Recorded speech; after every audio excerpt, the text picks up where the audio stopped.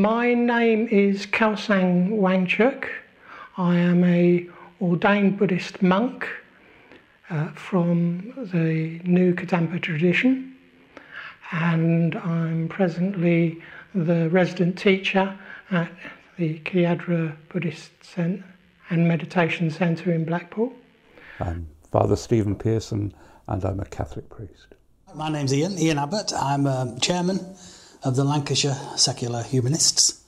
I'm also a humanist celebrant, so I conduct non religious ceremonies. Were you ever brought up as being religious? Yes, I was brought up in a fairly uh, observant Methodist family. In fact, uh, my early life was entirely wrapped up with the church. Uh, not at all. Um, like I expect most people, actually, in Britain, I believe that religion was a cause of most of the intolerance and wars in the world. So, so for example, on Monday night I would go to youth club at the church. On Tuesdays I would go to boys' brigade there. Thursdays I would go swimming with the church swimming club. You know, I wasn't very interested in religion to start off with. Sorry, Wednesdays I would go swimming with the church swimming club. Thursdays I would go to Bible study classes. Friday was boys' brigade again. Saturday I played football for the church team. And on Sundays, I went to church. Yes, really. Um, since I, I, was brought up, I was baptized as a Catholic, I was brought up as, uh, as a, a, Catholic Christian. And perhaps apart from a couple of months in my late teenage years, pretty much, yeah, I followed uh, uh, faith as a Catholic. And what happened in those months in the teenage years? I, I was just angry with a lot of people, I suppose. So uh, um, it seemed like the decent thing to do just to stop. But when I stopped, I realized how much I missed the connection with the, uh, with the expression of the faith that going to church means for me. So I kind of, even in that, I learned a lesson. Do you find it challenging to tolerate secular and atheist perspectives? Uh, not at all. Is it challenging for you to tolerate religious perspectives? Absolutely not. No, no. I'm one of the tenets of humanism is is that you have one life, and it's, you live it as you choose. So it would be hypocritical for me to demand the right to live without religion, and then insist that people who are religious should also live as I tell them to live. Religions aren't always suitable for everyone. We have to choose which one helps us to grow individually as a person. I think it's bound to be challenging. Um, having said that, I think we also, we as people of faith, Christian and otherwise, kind of learn things from um, from a, a, secular perspective and from a, an atheist perspective. But when such values are in, embodied, for example, in the law of the country, uh, and in the values across society, then as a Christian particularly, yes, it is challenging. Do you think religion has changed in any way over recent years? For example, do you think less people are following religion? Probably the last 50 years, as a secular element of society has developed and become more confident, then the, the challenges to, especially to the young uh, Christians and, and others who follow a revealed religion. So you have this situation where you're telling a five year old child, go to school, believe what your teachers say. Your teachers say that, that London is the capital of England, then London is the capital of England. If they say that five and five is ten, five and five is ten. And then they come home and say that, that God is looking at everything I do or that, that virgins can have babies, or that people can walk on water, or that somebody can make a fish butty go a long way. So then I, I object to that because that's not a fact, that's a belief. And it should be taught as a belief. Those values are difficult to continue, that, that they're more difficult to instill in people, for people to see the value of, where perhaps secularism might, might give people supposedly greater freedom. And it, and it does go deep. I mean, I, for example, I explained how I was brought up in religion, and it, that still is there. Those seeds have been sown deeply in my brain, and I know there are occasions when we have tough times in our lives, as we all do, that, that these thoughts creep back into my head, and I resent that. I resent that somebody put them there without my permission. Do you think that Buddhism has changed in any way over recent years? Well, the problem with that question is I wasn't brought up in a Buddhist country. So I don't really know uh, much about other Buddhist religions.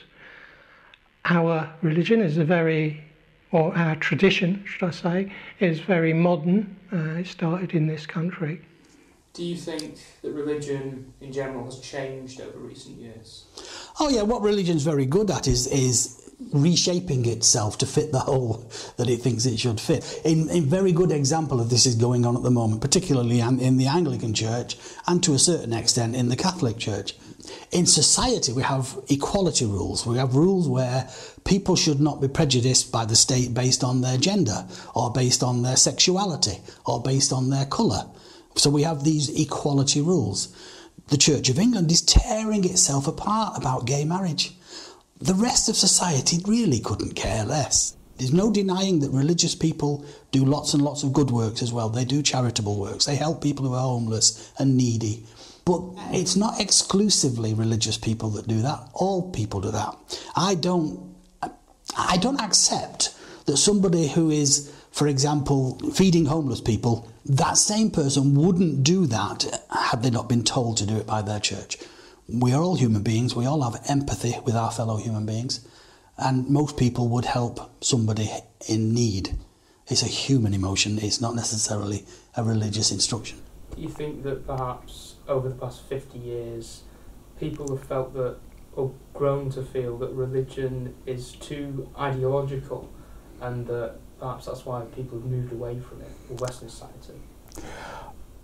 It's, it, it's, it's arguable. Uh, it, it, in my reading of things, I think secular and atheistic kind of cultures presume a certain freedom for individuals, but they also take away our capacity to look at life in its totality. For example, I, I, I couldn't live life with the idea of this is it and nothing else. So as an atheist, I'd be hopeless, you know, and, and secularism meaning that, that the, the, the freedom of the individual to uh, express her or himself and, and to live by whichever values are current um, often don't give people a fixed point of who they are as a person in the world. Uh, in this society at the moment, I, th- I think we're almost, especially in the West, we're saturated with um, iconic figures and also these you know, things that we think that, you know, we desire to, to be happy, to aim for, you know, to be successful, to have more money, to have a fast car. And I think everybody's realizing now that these things don't make us happy, that actually our life becomes hollow and insignificant when we put this to be our mainstay of what we want to achieve. You know, so as a Christian, looking at those those those current, very popular kind of ideologies, I see those not providing what human beings will need. So, in the last, excuse me, in the last fifty years, um, certainly revealed religions like Christianity, Islam, and Judaism have faced challenges in terms of numbers falling. But I think perhaps those who then come to and embrace those religions will speak of the surety of themselves as individuals which come from those religions. So, would you say, without being too political, that religious ideologies are what you have a problem with? Well, the, the, only the ideology that, that other people should conform. This, I, it's the evangelizing that I really object to. So, in a sense, do you frown on modern ideologies that, that people have? Well, any ideologies that put some people above other people um, and, you know, cause pain and suffering, then I see that as a sickness in our society that we need to to help others to see, you know, the problems and how we can address those problems. My ideology to my daughter is look, believe things on evidence, examine, question, ask, everything. It's almost a scientific model, and that's a good model because it never satisfied with the answers. It's always asking more, asking why, questioning. Do you think we need to have faith, or do you think that people should believe things on evidence? How would you explain love? It's a good question, and one I can't answer. Well, then, in a sense, that's why I would say we can't simply empirically establish life around us. We have values which are important for us as human beings, and we can't always analyze them or reduce them to a formula which we can readily communicate. But those values are still important, and I would say faith is, is certainly akin to that. Do you think there are more non believers in Britain than religious believers? I would say absolutely to that now. Um, I think the social attitude survey, the last one that was published, I can't remember the date, maybe it was 2010. For the first time, it was over 50% of the people said that they were not religious. Do you personally think religion has a place in today's society?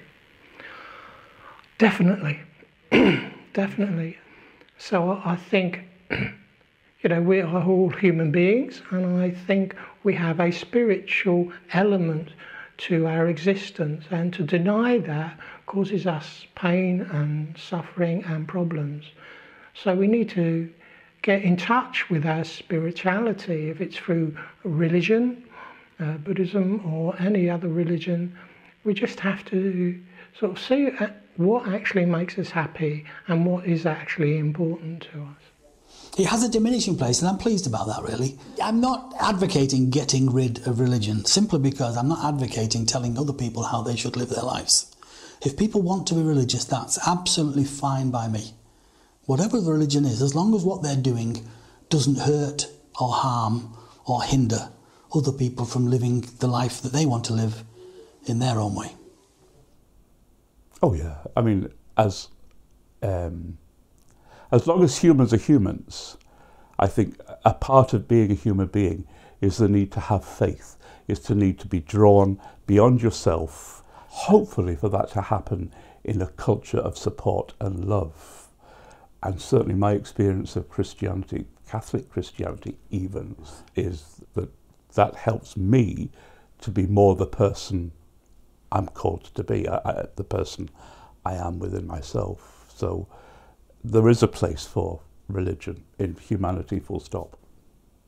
As a human being, the capacity to believe, the capacity to love, and to, in a sense, the capacity to reach beyond ourselves is something that we need.